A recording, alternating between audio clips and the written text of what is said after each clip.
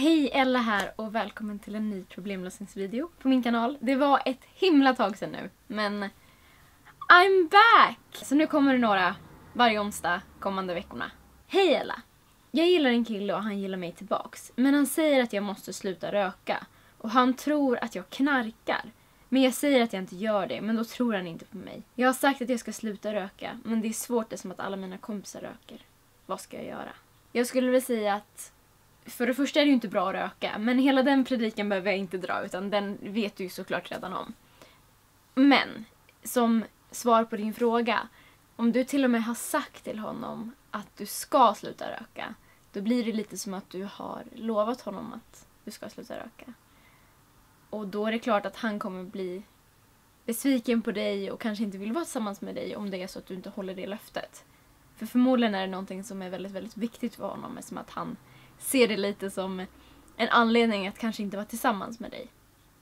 Så det, det skulle jag tro.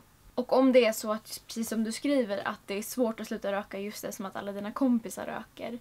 Försök typ spendera mer tid med honom och så. Eftersom att jag misstänker att han kanske inte röker och att det är därför. Och då blir det ju ett bra sätt att träna på att inte röka när du är med honom. Och försök i alla fall trappa ner till att förhoppningsvis kanske bara röka en cigarett om dagen och så ta det därifrån. Men eh, jag kan inte lägga några värderingar eller berätta hur lätt eller svårt det är för dig att sluta röka.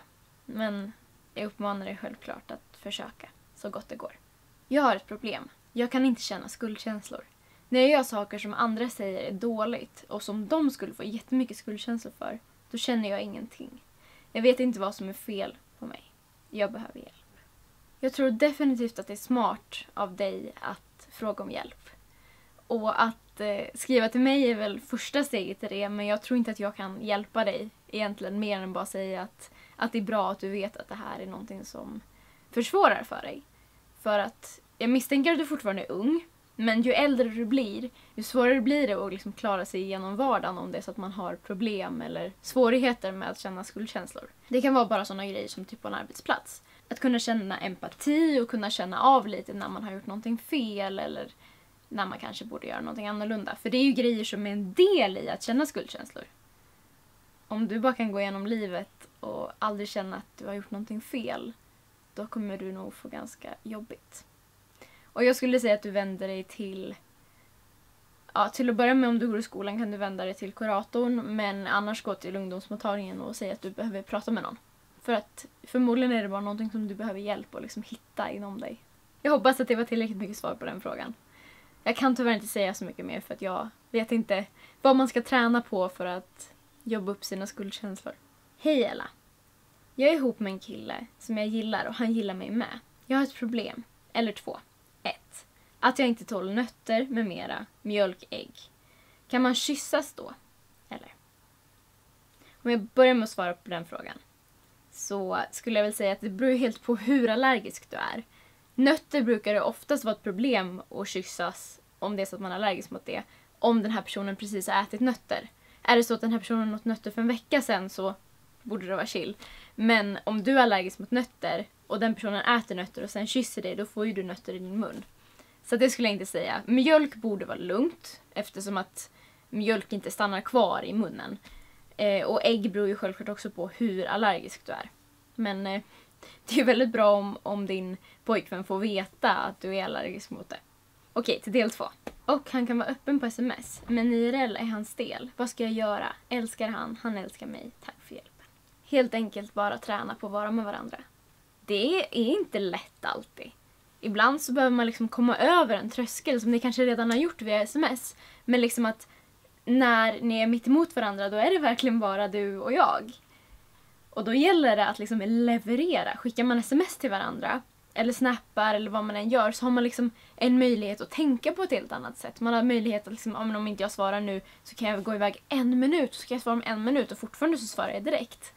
Men liksom när du står där då kan du inte rymma. och det behöver inte vara något negativt utan det är bara att träna på det. Och det är en konst i sig. Att kunna vara samma person via sms och internet och så som man är i verkligheten. Så det är bara att träna. Börja med att kanske bara ses en liten stund. Och sen ses längre tid så att ni liksom blir vana med varandra. Så får ni jobba upp det bara. Hej Ella! Jag har varit nyss ihop med en kille och han skrev till min kompis och har känslor för henne. Min kompis skickade det till mig och jag är ganska osäker på om jag vill göra slut. Vad ska jag göra? Jag vill ha han och han vill ha mig. Vi har aldrig träffats. Tacksam för svar. Jag skulle säga nej.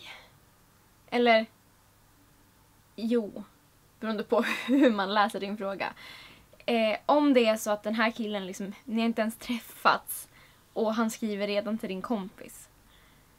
Jag tycker inte att det känns som att det här är en så himla bra kille faktiskt. Och han har liksom inte bara skrivit till din kompis, han har skrivit att han har känslor för din kompis. Och de har inte heller träffats, eller? Har de träffats? I alla fall så lyser det varningssignaler i mitt huvud. Eller blinkar varningssignaler kanske man säger. Att om han skriver att han har känslor för din kompis, hur många fler skriver han att han har känslor för då? Det känns lite som att han bara leker med dig. Och det tycker jag inte om. Inget bra alls. Jag tycker att du ska göra slut. Eller åtminstone prata med honom. Men eh, det här verkar inte vara något bra tycker jag. Tyvärr. Hej! Jag är en tjej som vill börja med p-piller, men jag vill inte att min mamma eller pappa ska veta det. Måste ungdomsmottagningen ha tillstånd av föräldrar för sånt? Eller hur hämtar man ut dem då? Vad jag vet så behöver man inte ha tillstånd från föräldrar. Jag kan inte svara på hur det är på alla ungdomsmottagningar eller hur det är liksom runt om i landet. Men jag har i alla fall aldrig behövt liksom, tillstånd från mina föräldrar för att skriva ut p-piller. Jag tror att är du över 15 så har du ju ändå en legitimation och du har liksom ändå vissa rättigheter. Och då ska det bara vara att kunna gå till ungdomsmottagningen, prata med en person där, berätta att du vill ha p-piller och så går de igenom om du borde ha det eller om du ska ha något annat som passar bättre för dig. Och sen så ska du gå till apoteket och hämta ut det. Och det ska gå bra även om du inte är 18. Och de ska inte behöva blanda in dina föräldrar. Om det inte är någonting jättespecifikt. Man behöver dock veta när man, just för p-piller, om det är så att man har till exempel vissa sjukdomar i släkten och sånt. Och av den anledningen kan det vara bra att fråga sina föräldrar, men vill du inte att dina föräldrar ska veta så kan det ändå vara bra att kolla upp lite på något bra sätt. Så att det inte är riskabelt för dig att eh, äta p-piller. Det kan vara typ så hjärt och kärlsjukdomar och lite sånt. Som kan vara bra att veta. Det var alla frågor för idag. Jag hoppas att du tyckte det var trevligt att hänga med mig nu i några minuter. Så ses vi igen snart. Ha det jättebra. Hejdå!